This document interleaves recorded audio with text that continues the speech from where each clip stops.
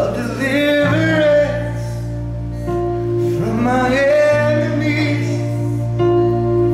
till all my fears are gone.